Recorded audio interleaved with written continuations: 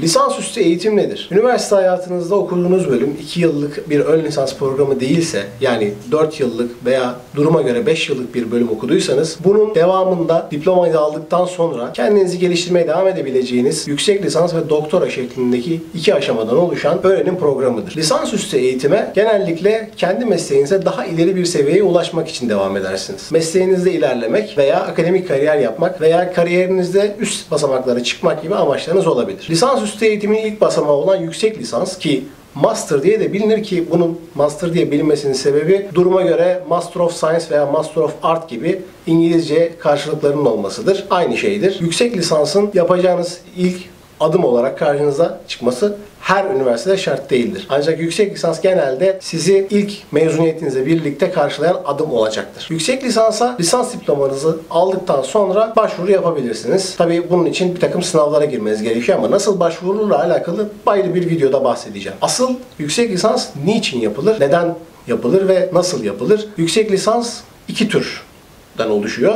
Biri tezli yüksek lisans, biri tezsiz yüksek lisans. Tezli yüksek lisans arkadaşlar sizin daha az sayıda ders aldığınız ve asıl amacınızın tez yazmak olduğu program. Tezsiz yüksek lisans ise daha çok sayıda ders aldığınız ve sizi daha basit bitirme projesi gibi, bitirme tezi gibi daha basit bir çalışmayla sonuca ulaştıran ve diplomasını aldıktan sonra öğrenim hayatınızı bir nevi noktaladığınız bir programdır. Yüksek lisans eğer tezsiz olursa onunla doktoraya müracaat edemezsiniz. Tezli yüksek lisans diplomasıyla veya bazı üniversitelerin sunduğu imkanlarla yüksek ortalamayla mezun olmuş bir lisans diplomasıyla doktoraya müracaat edilebilir.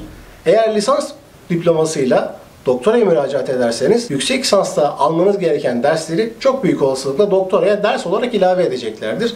Ancak yüksek lisansta yapmanız gereken tezden kurtarmış olabilirsiniz. Yüksek lisans diplomasıyla başvurursanız normal olarak doktoranın yine kendi belli sayıda dersi olacaktır ve bunları almanız gerekir. Yüksek lisans ile doktor arasındaki fark şudur. Yüksek lisansta bulunmuş bir yöntemle yaptığınız bir e, çalışma sizin özgün tezinizi ortaya koyar. Ancak doktorada yapacağınız iş bunun bir basamak yukarısıdır. Doktorayı yaptığınız zaman artık şunu demelisiniz. Ben bu özel daraltılmış konuda, bu konu başlığında dünyada sahip olunan bilgi birikiminin son noktasına geldim.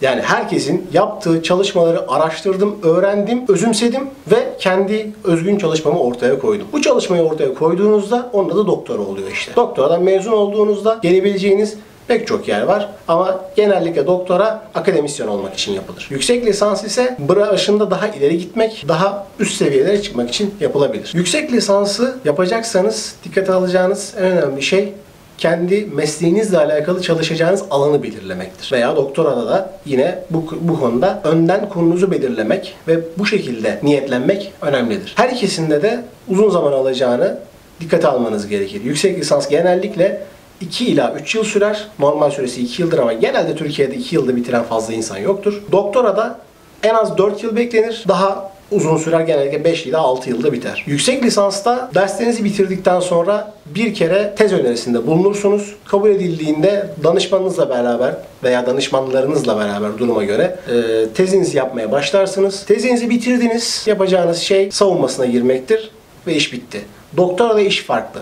Önce derslerinizi veriyorsunuz yüksek lisanstaki gibi. Sonra doktora yeterlilik diye bir şey var. Doktora yeterlilik şu demek belli sayıda genellikle bu 4 olur ve bunların en az bir tanesi otomatikman sizin için seçilmiştir. Belli sayıda dersin, lisans dersinin sınavına girersiniz. Girdiğiniz sınavlarda sizden beklenen bilgi birikimi şudur. Bu arkadaş çıkacak bu konuyu öğrencilerin karşısında anlatacak ve gelecek her türlü soruyu cevaplayacak. Yani anlatacak kadar bilmenizi isterler. Eğer anlatacak kadar öğrendiyseniz yazılı ve sözlü sınav şeklinde iki aşamadan oluşan doktora yeterliliği geçer, tezinize başlamaya hak kazanırsınız. Yeterliliği geçtikten sonra ilk yapacağınız iş tez jürinizi oluşturmaktır. Tez jürisi normalde yüksek lisansta sadece savunmada karşınıza gelir ama doktora da sadece savunmada değil tez izlemelerde de karşınıza gelir. 6 ayda bir doktorada tez izleme verirsiniz. Bir nevi küçük çaplı bir test savunmasıdır bu. Son 6 ayda ne yaptığınızı, hangi ilerlemeleri kaydettiğinizi gösterirsiniz.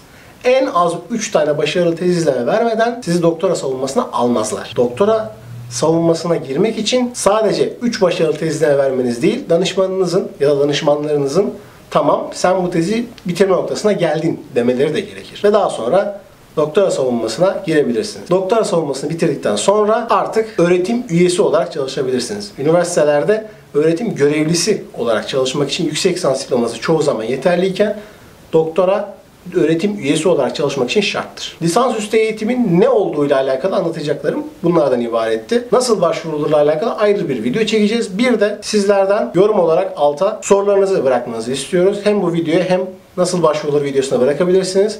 Sorularınıza cevap verdiğimiz ayrıca bir video çekeceğiz. Teşekkür ederim.